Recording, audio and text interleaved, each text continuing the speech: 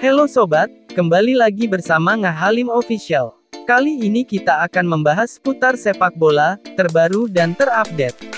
Sebelum lanjut jangan lupa bantu channel ini dengan cara tekan tombol subscribe dan nyalakan tombol notifikasinya, kalau udah, terima kasih.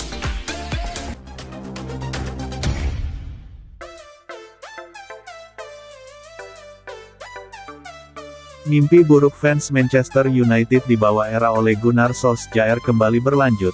Sabtu, tanggal 20 November tahun 2021.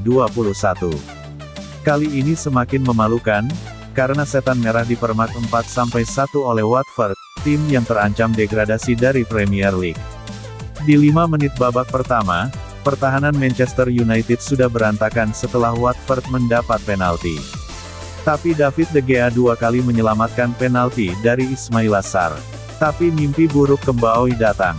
Watford yang begitu dominan di babak pertama mencetak dua gol, masing-masing lewat Joshua King dan Ismail Assar. Di babak kedua, Manchester United berambisi bangkit. Dua pemain baru dimasukkan, yakni Anthony Martial dan Dini van de Beek. Manchester United sempat sangat dominan. Hasilnya, VDB mencetak gol memperkecil ketertinggalan. Tapi, rencana itu berantakan setelah Kapten Harry Maguire mendapat kartu merah. Permainan Manchester United tak bisa berkembang.